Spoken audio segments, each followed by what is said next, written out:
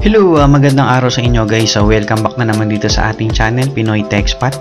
Uh, dito sa channel na ito is nagbibigay tayo ng mga helpful tutorials uh, regarding mobile applications. So, basically guys, uh, bago pa lang itong channel na ito and uh, in the near future, magbibigay rin tayo ng mga tutorials regarding kung paano tayo mag-earn money online regarding crypto investing and self-improvement. For today guys, meron akong ituturo sa inyo na technique kung paano kayo makakapag-transfer ng pera nang hindi na-charge ang inyong mga transaction.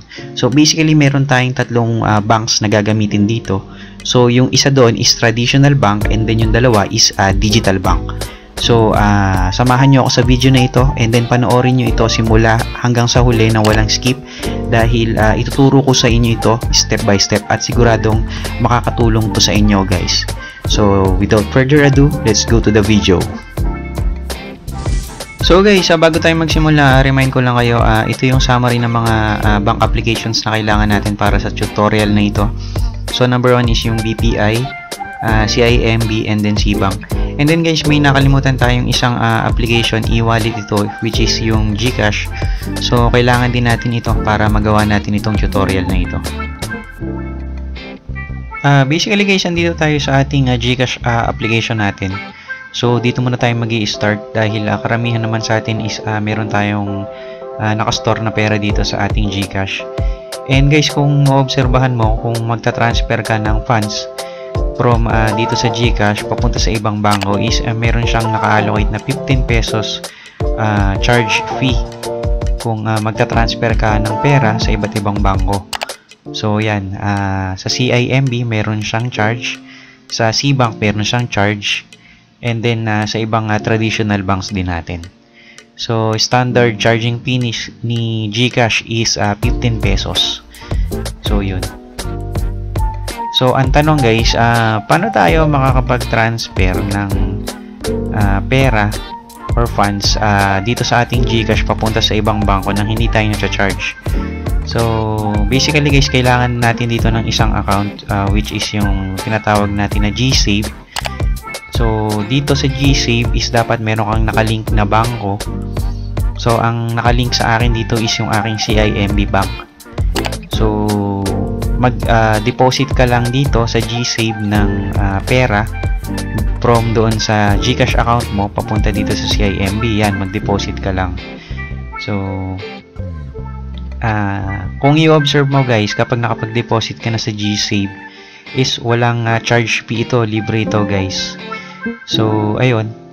And then, kung nailipat mo na yung pera papunta dito sa CIMB, since itong CIMB bank is a digital bank, uh, sa digital bank kasi maraming perks.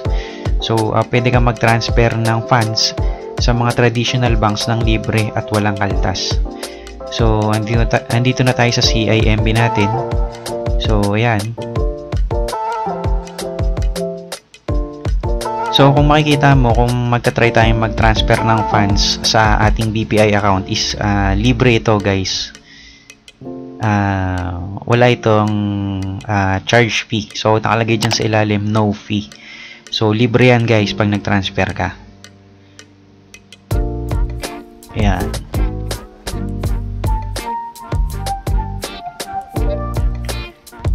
So guys, ang gagawin natin dito is magta-transfer naman tayo ng uh, funds papunta sa ating CBank account.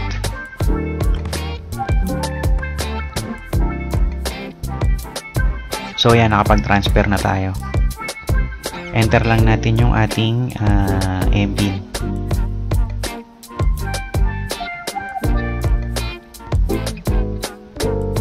So ayan, nakapag-transfer na tayo successfully. Then, uh, nandito na tayo sa ating uh, CBank and uh, kung makikita mo, nag-appear na dito yung 500 pesos na tinransfer natin.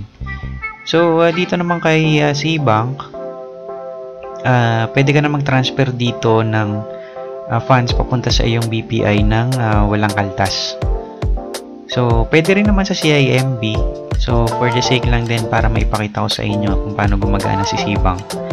So, pwede mo rin gawin yun. Makapag-transfer ka ng funds ng libre papunta sa mga traditional bank gaya ng BPI. So, yan. So, yun, nakapag-transfer na tayo sa ating BPI. Check natin. So, guys, walang kaltas yan. Libre yan.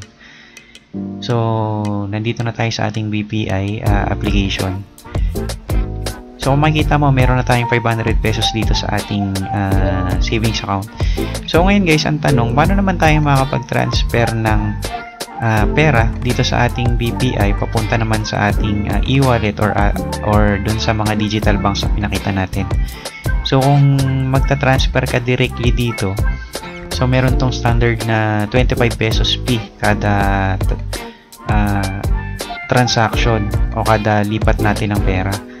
So, basically dito guys, gamitin mo lang yung uh, uh, e-wallet uh, deposit.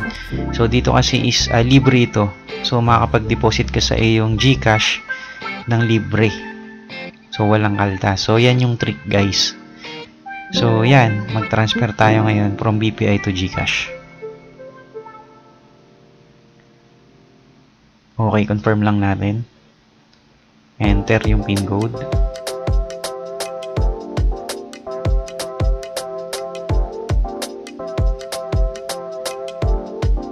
wait lang natin.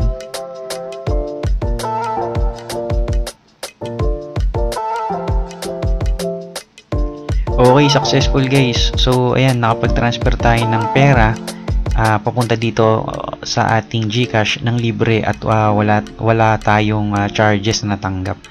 So kung obserbahan mo guys yung mga activities na ginawa natin is walang uh, transaction ping uh, naganap.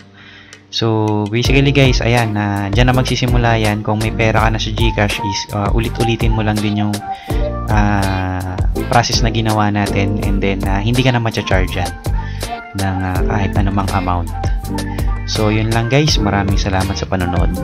So guys, kung nagustuhan mo tong video natin is uh, i-like and uh, subscribe mo lang yung ating channel uh, marami pa tayong gagawing uh, tutorial videos na makakatulong sa inyo.